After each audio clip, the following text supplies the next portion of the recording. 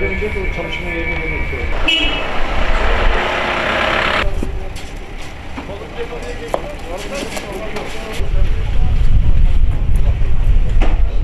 Edremit Belediyesi olarak Altınoluk bölgesinde Atatürk ve Barbaros Caddesi yenileme çalışmaları yapıyoruz. Tabi bununla birlikte çevre düzenlemesini de birlikte yaparak yürütüyoruz.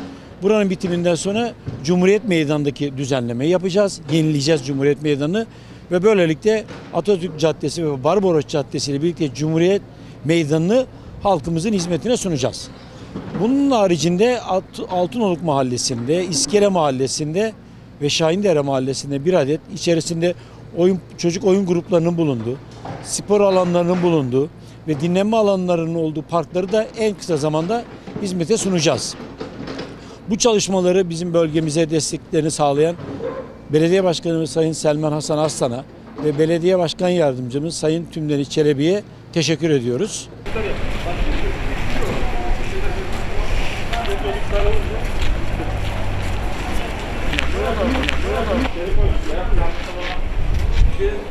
Sıfıra mı şey yapacağım diyor. Hasan yapacağım ama 14 ay sonra diyor.